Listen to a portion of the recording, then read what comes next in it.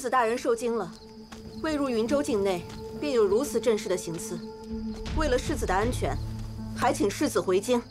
云州连年战乱，百姓流离失所，母亲让我体味民情，为解救这里的百姓出一份力。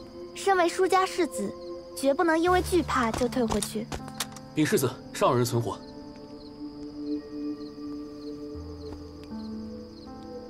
这身伤不是我们做的，看起来应该是绑匪先把他绑到这儿，然后一并带过来的。那便不是敌人了吧？救活他。此人身份不明，世子那也不能见死不救啊。是。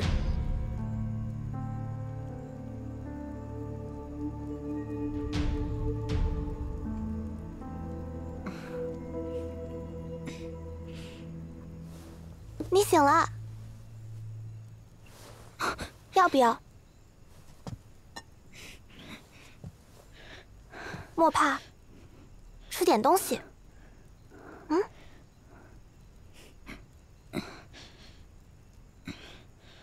你先吃。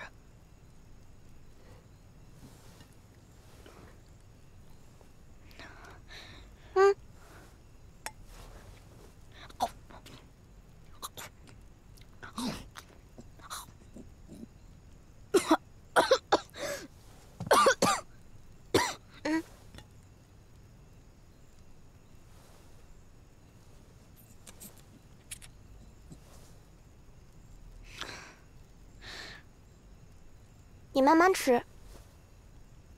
你家在何处？我送你回去。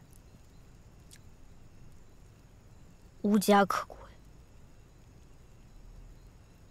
哦，大夫说你没有伤及内脏，还有的救。绑了我的那些人，都是你杀的。你就是舒城吧？不。我是是来出游的。云州可不是一个游玩的好地方。多谢大舅，还你一个人情。你若是舒家的那个人，赶快回楚都吧。你怎知我是舒家的人？行刺你的人是君子堂的人。那个。专门出杀手的地方。我从那里逃出来的时候，我听他们说，这一次他们的目标就是舒家人。君子堂的人说，只要杀了你，不计任何代价。看来有人不想让舒家插手云州的事。你还想留在这儿？我来这里是希望能够多救百姓。我的事还没有办完，别以为现在有人护着你，君子堂的人手段多得很，防不胜防。那又如何？我得去做我该做的事啊。你才几岁，好大的口气！我虽然年纪小，但也知道，有些事我必须去做。即使此去无回，但也不负本心。我命人送你出云州，再给你银两。你好好过活吧。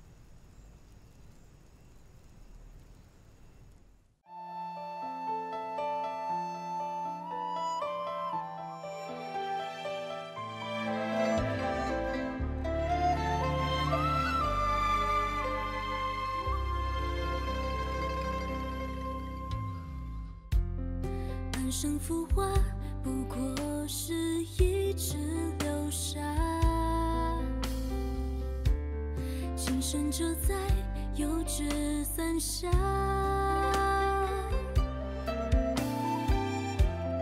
咫尺天涯斩不断那一缕月光，你身旁是我到不了的远方。窗外觥筹交错，琵琶声响，何人泛舟湖上，灯影摇晃。奔遍天下，不及此刻这一刹。我看过硝烟里的风沙，古城里的繁华，却。想与你共白发，执手相看小桥流水又到谁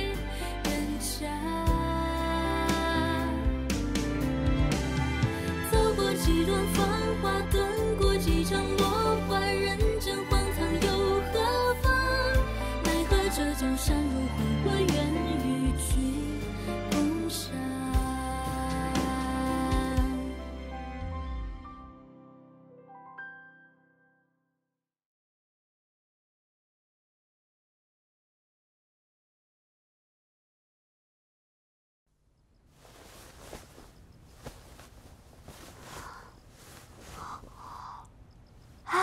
好没有伤到脸，哼，不影响本小姐狂欢楼喝花酒。啊，你听说了吗？最近凤楼大酬宾，打赏一概不要，酒水全部半价。高兴的时候还会打赏客人呢，我真是八辈子都没听说过这种好事。这知道的呢，是沈爷在庆祝；这不知道的呢，还以为任老板被你气疯了、伤透了才做出这种事。搞得我都想去看看，悄悄的跟他说句恭喜，说不定还能讨些银子。不对啊，你们两个是我介绍认识的，应该给我包个大红包。不说了，不说了。明天我要回去好好准备一下，等你成婚之时，给你准备一份厚礼。让我好好搜罗搜罗，给你找些不寻常的。脏东西，什么脏啊？那你喊人去打扫一下。人，人脏了。不脏啊。哎，要么你洗澡的时候让红渊再多加一点澡豆。洗不干净。这么脏吗？也没有那么脏。沈夜啊，他又怎么欺负你了？我去揍他！他可能是皇上的男宠。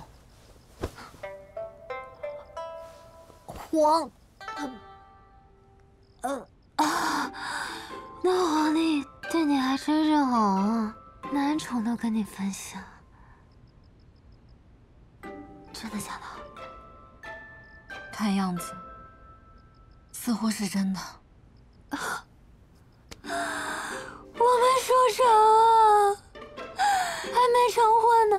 就戴了顶绿帽子。啊啊！这婵儿，这我是不是说错什么了？婵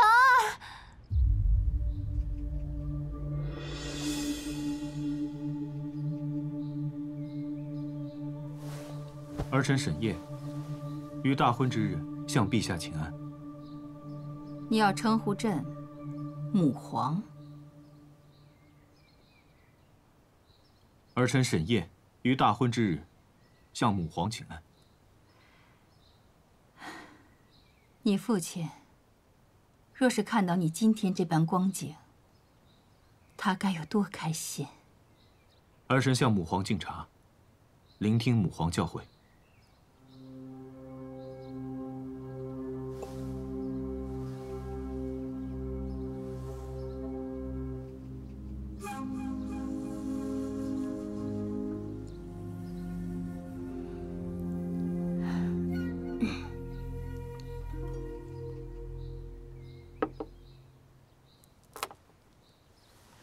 快起来！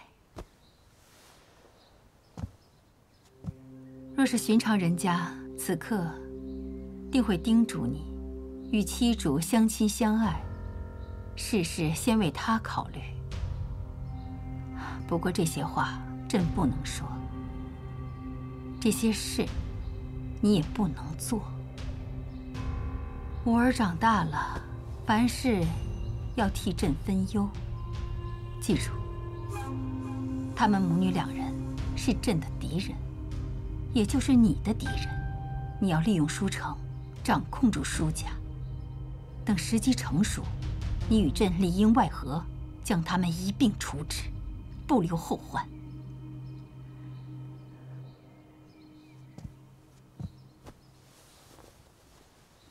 你万万不可学你父亲背叛于朕，否则。别怪朕不顾母子之情。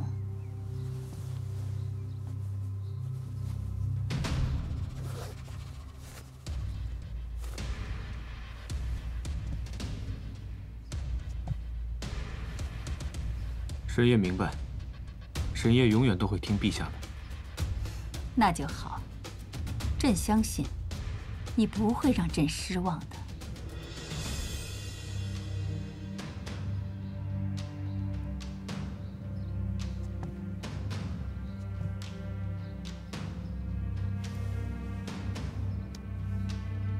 荣亲，谢过母亲。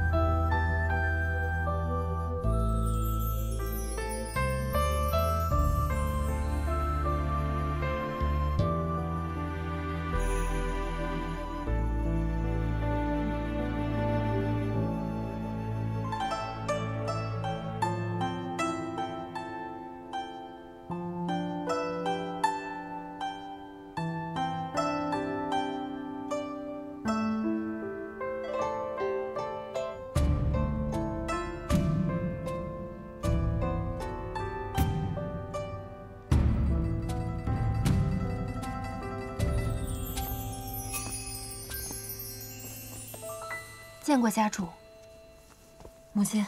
嗯，你们都下去吧。是。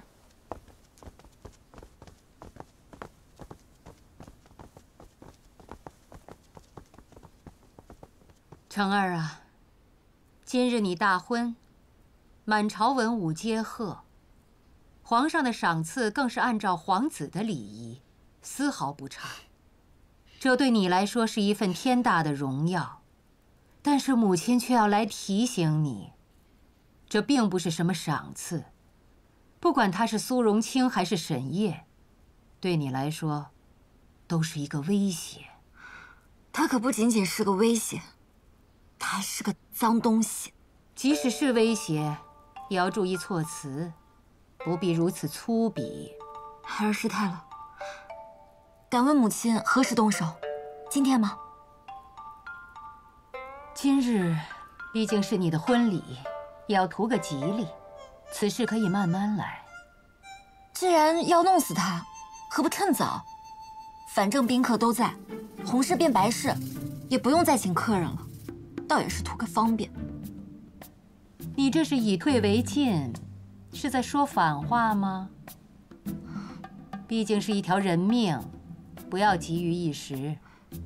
可孩儿还是想。就地解决，成儿啊，之前你可都是念着他的，今日怎么如此暴力？是有什么不舒服吗？回母亲，我就是单纯的想弄死他。哼，你这副样子，就是做给母亲看的吧？娘告诉你，不要对这个人有任何的希望。也不要对他付出真心，这样一来，他死的时候，你就不会伤心。母亲放心，他死的时候，孩儿只会庆祝。毕竟是你老师的孩子，也不必很开心，对吧？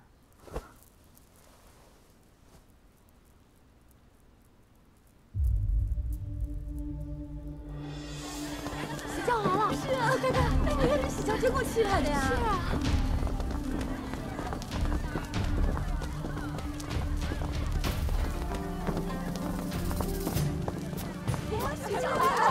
快让路啊！快点下来！哎呀，可真热闹！是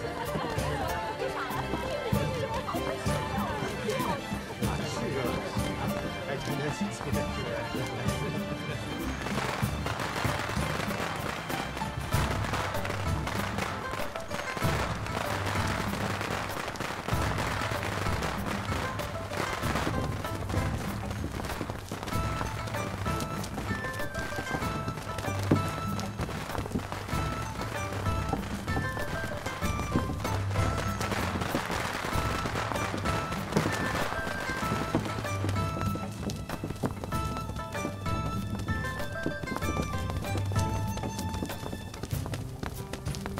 停，转轿，吉云绕府，喜气迎屋，落轿，家人落轿，福气万千。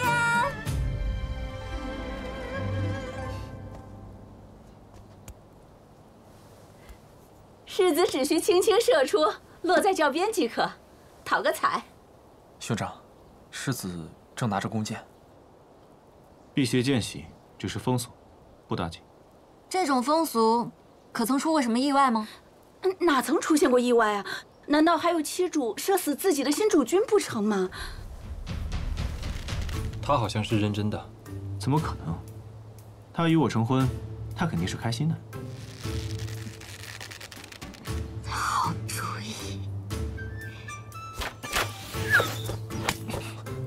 兄长，你没事吧？没事，他就是太激动了。看看里面的人是死是活，活着迎出来，死了就算了。世子还有踢轿门的说法。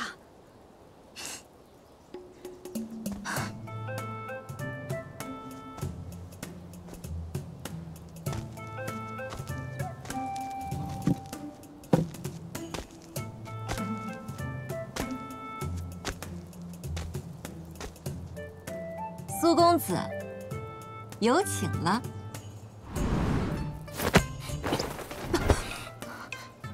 怎么还没有礼成，便要谋害金夫吗？既然你不听劝，硬要成亲，那你就好好接受这种方式吧。既然你一箭没有射死我，那就得劳烦世子殿下引我入府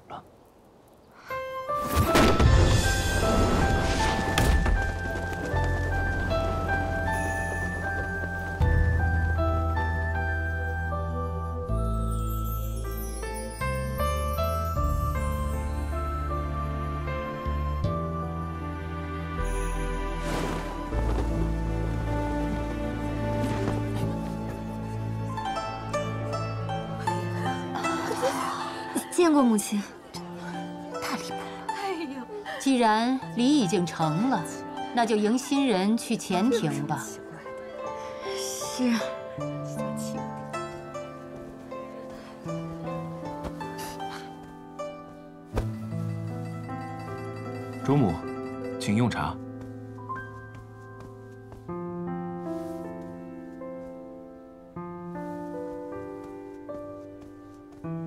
成儿的父亲常居云州，有些话就由我来说吧。你入了舒府，就是我们舒家的人了。以后你二人要和美，你要体贴照顾你的妻主。谨遵主母教诲。送新人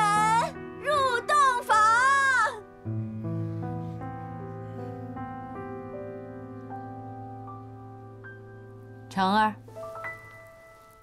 随我去招呼客人。是。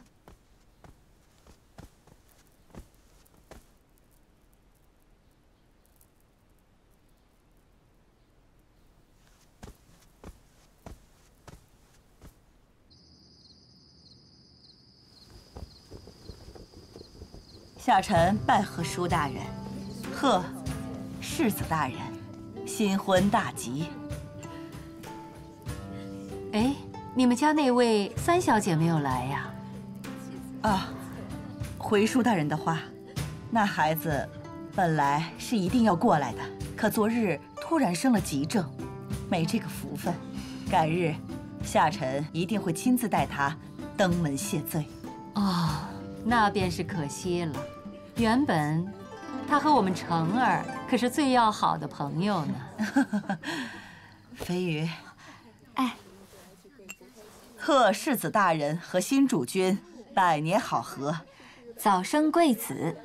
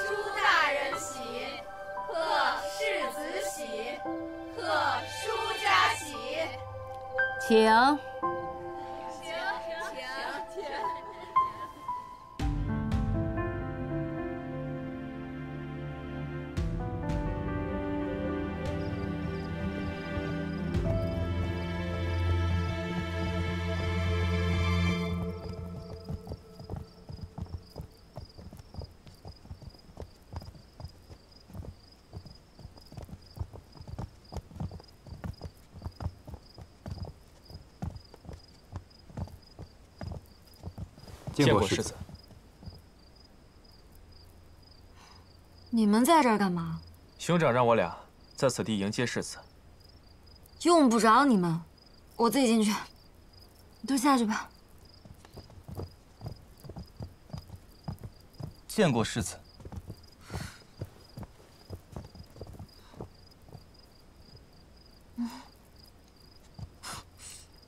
哎，不是，你们跟过来干什么？回世子的话，吾等随时听候差遣的。差遣什么？嗯？还是你们想想听见什么？无耻！你们都下去吧，也请世子把你的人也都撤下去。这好好的洞房之夜，舞刀弄枪像什么话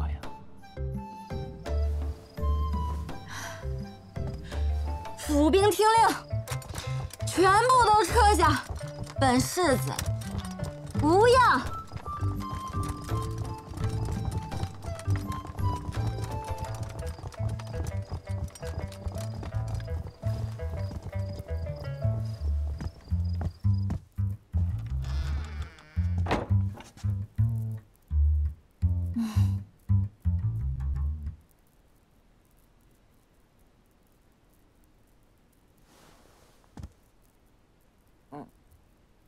世子紧张什么？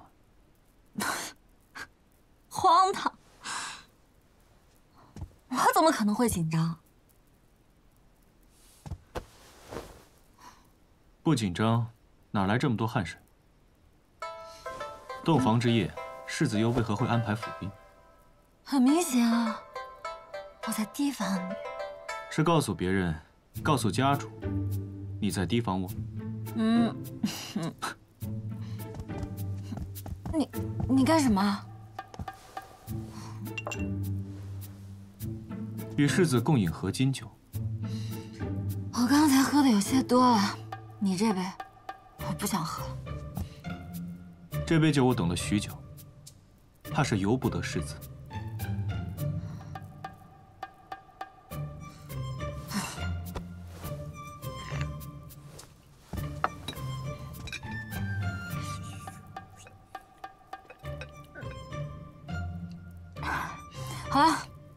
在酒没了，你睡吧，我走了。洞房之夜，世子想去哪儿？难不成你真想和我洞房啊？我告诉你，休想！别的事情都可以听你的，但这件事情不行。你以为你自己是什么货色？难道？你还敢对我用强啊？那世子就看沈夜敢不敢对你用强了。嗯，你你要干什么？还请七主帮我摘掉面纱。你想得美！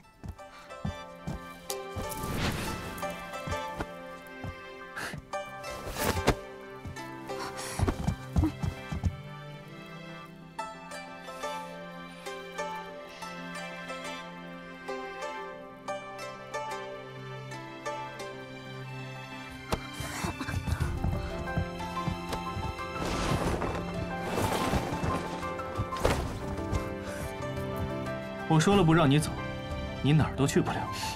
你别忘了，本世子可是清月派掌门的关门弟子。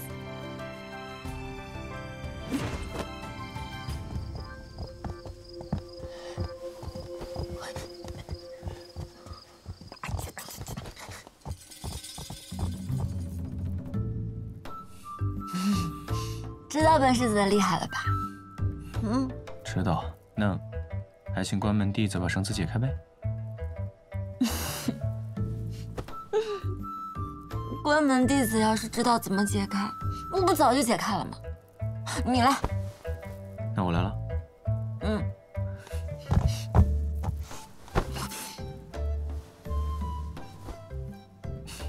你是故意的，你冤枉我了。那我来。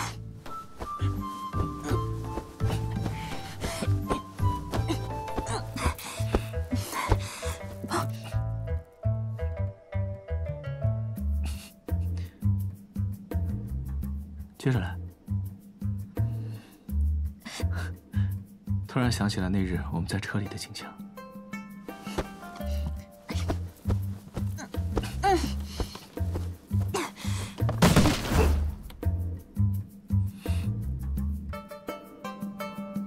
怎么又没动静了？是啊，真着急啊！兄长洞房，你急什么？不是我着急啊，是牡丹那个家伙一直在踩我的脚。哦，这只脚是我踩的，抱歉。嗯，哦，牡丹的意思是，打死他都不知道你会来。啊，我是担心兄长有危险。啊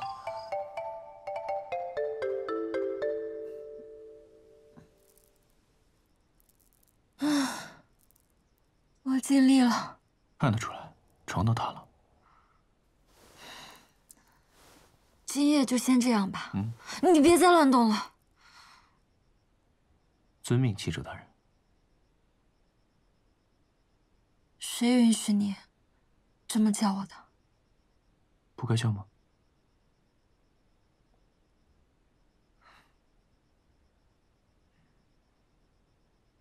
算了算了，我困了。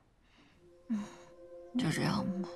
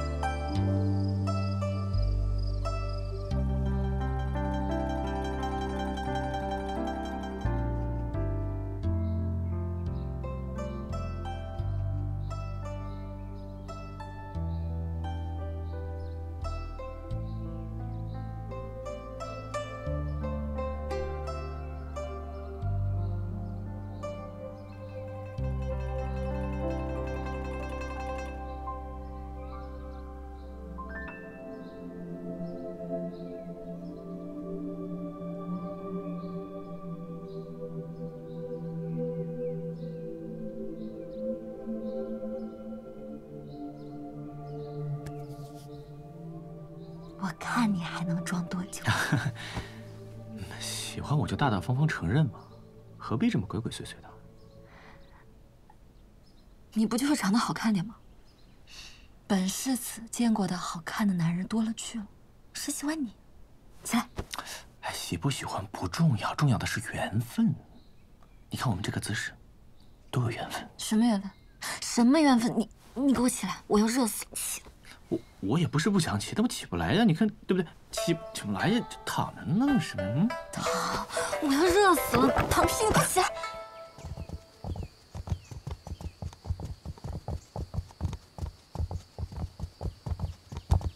请世子主君洗漱。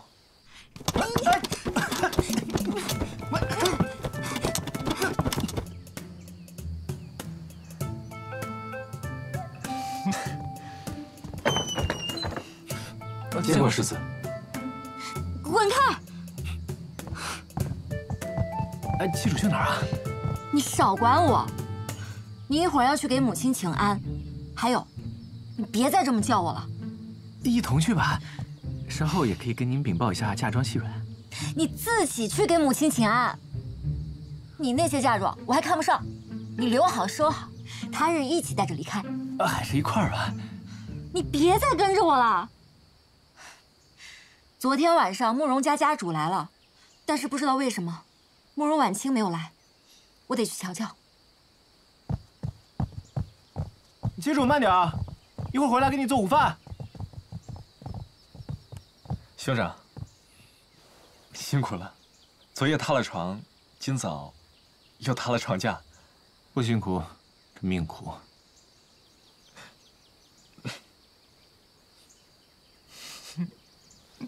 啊，帮我换张新床。是。兄长慢走。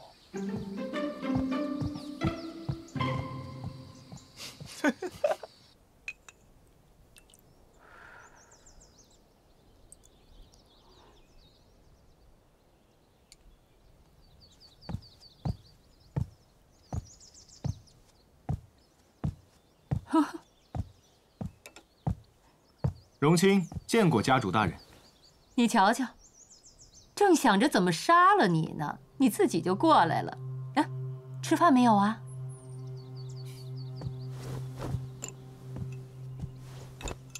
原来家主是因为这点小事心烦，那是荣清的错了。至于吃饭嘛，我还是想等世子一起，请家主训诫。哟，谈得上什么训诫呀？无非就是希望你多为舒家分忧解难。家主是想让荣清出谋如何除掉我自己吗？有劳了。荣清是苏家的独子，贸然除掉，恐怕家母不答应。那必然不答应。荣清身份古怪，还背靠皇上，其中轻重也需掂量。说的是。还没搞清楚杀你的时机在何处。最重要的是，荣清刚与世子成婚，还舍不得死。只要我不想死，我怕这个世上没有谁有这个本事。嗯，那就要看你如何在舒家自处了。你若真是迷惑了成儿，令舒家危矣，那我也是不答应的。安分一点儿。你还能活得久一些，说不定荣清能与家主找到另外的法子，让彼此都活得舒心一点。哦，那就要靠你多多费心了。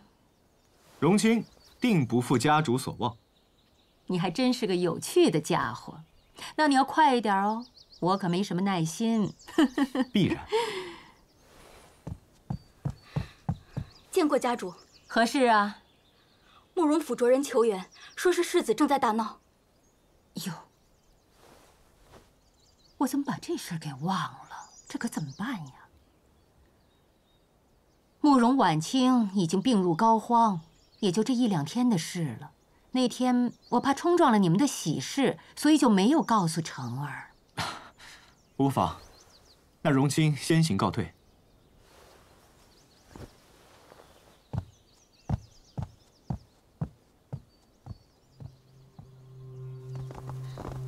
世子大人，你还是把我三姐姐放下来吧。走开，别碍我事，我要带她去看病。世子，我们已经请了很多名医，都瞧过了，这孩子撑不了几天了。我信不过你们，你们巴不得他死。走，世子，这孩子熬不住了。您刚刚成婚，莫要冲撞了您啊。成儿，母亲说的对，你将我放下吧。要死，我也得死在家里才行。你送我的礼物我还没有收到，你不准死！来人，将我三姐姐送回屋去！你敢？谁敢拦我家七主？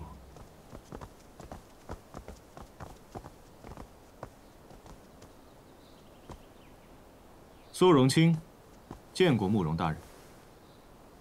原来是舒家的心绪啊，失敬。你们二人刚刚成婚，何必来沾染这个晦气呢？荣清还真的不知道救人心切和沾染晦气有何相干。我只知道，谁让我家妻主不开心，那我就让他不开心。哟，一个两个的口气倒是不小，你一个心绪，就敢占舒家的事吗？住口！李宇南撤。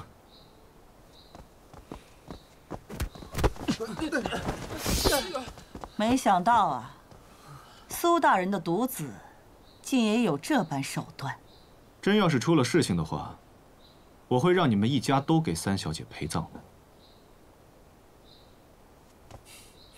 旗主大人，走吧。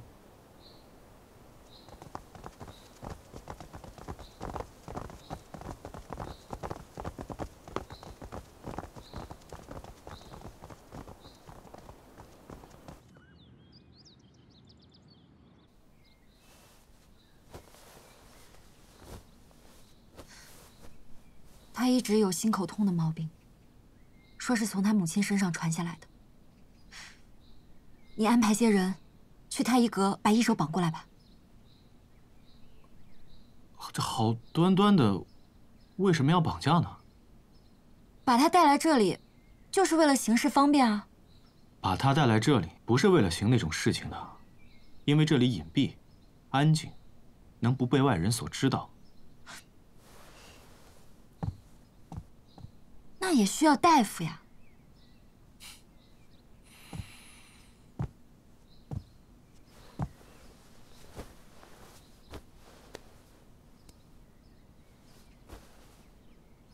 你会医术？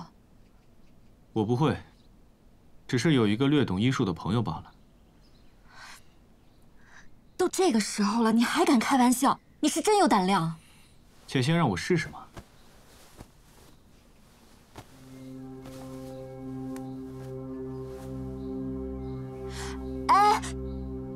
别乱施针啊！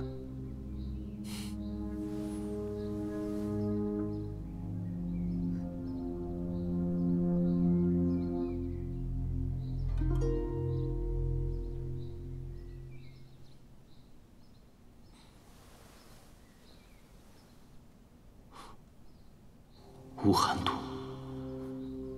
看来得动用那件宝贝了。接主大人，可知道冰残破吗？知道，天下至宝，皇上那里有一枚，我去求他。求不来的，那是他留着给自己续命用的，谁求都没用。那我就去偷去抢，反正我要弄过来。家主大人没给你讲过，舒家也有一枚吗？从来没有。也是，偷藏了皇家的宝贝，也确实不能轻易提及。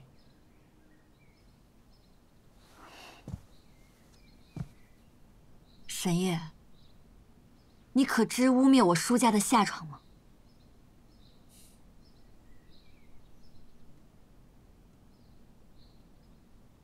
好，我去求我母亲。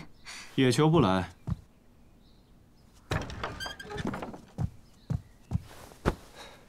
求兄长救救他！你何时对他是这般心思？之前你可是连面都没露一下。他不能就这么死了。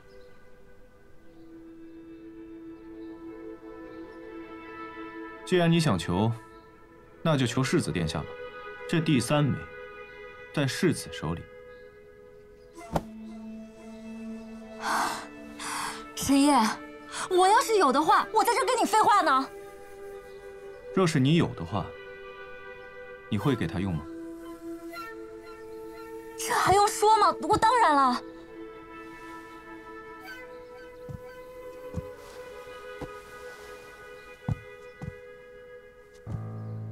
去把那几个人都叫过来一会儿都用得上。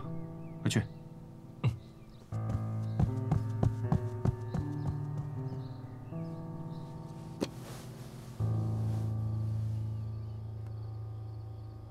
当年药王谷正身送予我的，他说我这人性格招人烦，哪天容易被人打死，让我留着保命。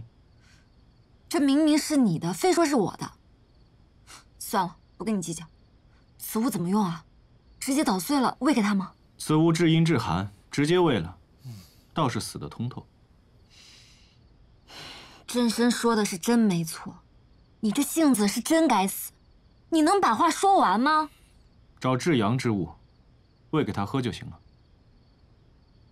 童男血，用此物化解就可以。不，哎，你你这家伙动作倒是快，拿盆去接着，别浪费，待会儿流干了。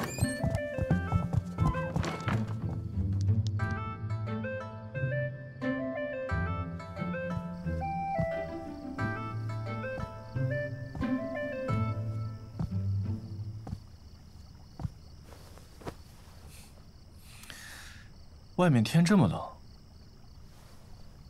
要不咱们回屋里去？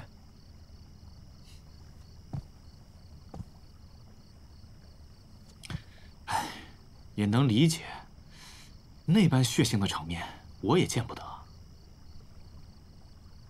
你又不是一个普通的小官，你什么样的场景没见过？别在这儿装模作样了。这般咄咄逼人，看来对我有些许的怨气啊！你太谦虚了，我对你何止是怨气，简直就是……我不想说污秽之语。看来你有很多问题，这样吧，你问，我答。你的事情我一点也不想知道，你就告诉我，那冰蚕破真的管用吗？当年正身娘舅想要霸占药王谷，屠戮了谷中九十余口人，还把正身打成残疾，推入崖中。是我助他重夺药王谷。你说这药管不管用？其实小到药王谷，大到整座江山，这样的故事都是周而复始。既然是你的宝物，你为什么偏要说是我的呀？你拿我寻开心啊？舒家乃是第一世家，像我这种小门小户的，自然得多准备一些嫁妆。这冰残破就是我的嫁妆，那自然是你的。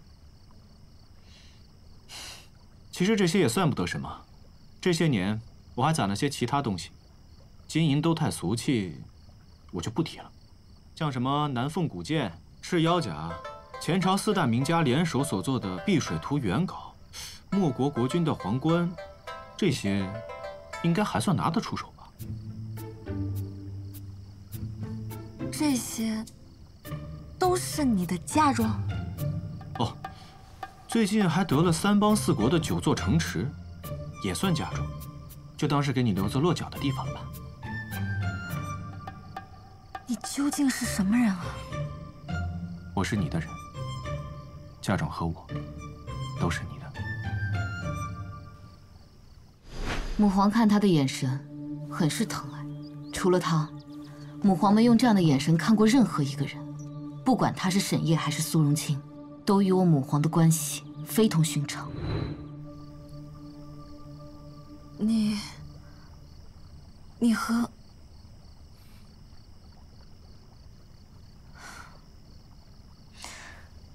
算了。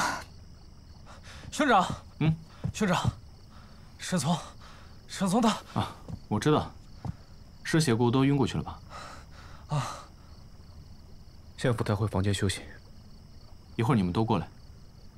是。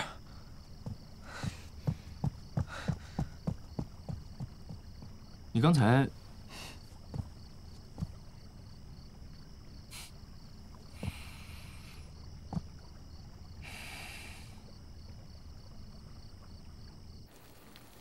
这冰残破真是奇物啊！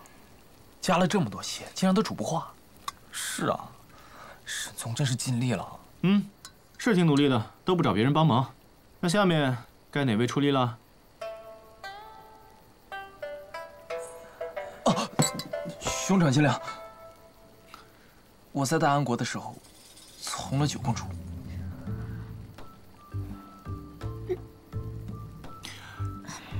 九公主乃人中翘楚，你不吃亏。难受，你来。啊！你不会演。兄长，兄长，我与燕国御厨家的小姐，兄长见谅。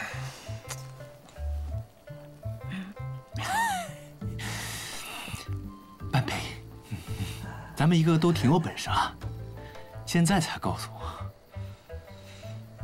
算了，我的。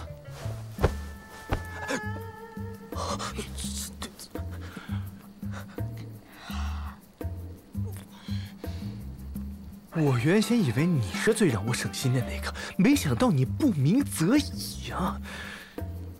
没想到在最放心的环节出了问题，我真的是……我去寻几个人来。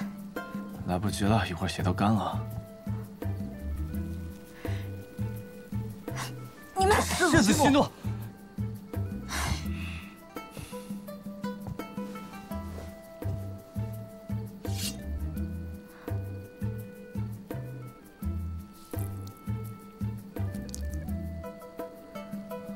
啊，兄长，你这兄长，这么看我干嘛？兄长，你与中山侯的事是假的吧？就知道你在背后乱嚼舌根，假的。那那大安国的大皇女呢？我不喜欢她。那还有南疆的那个滚！哦，是。哎哎，这。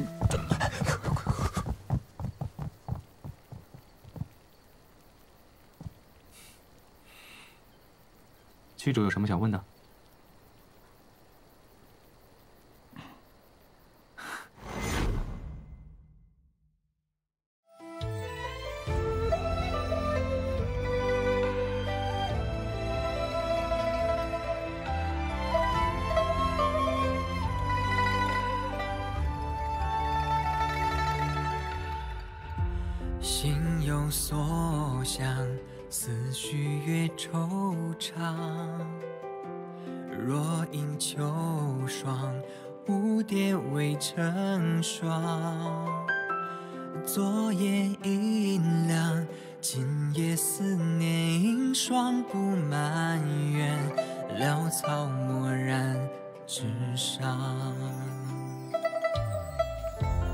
时过变迁，碧波似流年。两人并肩，钟情空难言。世间繁华，终究只是过往的云烟，唯有你在心间。心下，你闪烁的眼，比月光皎洁。愿此生并肩，将时光篆刻成诗篇，我只手与你，翻阅千万遍。怪想念太后之后，觉我情愿沦陷，你白衣胜雪。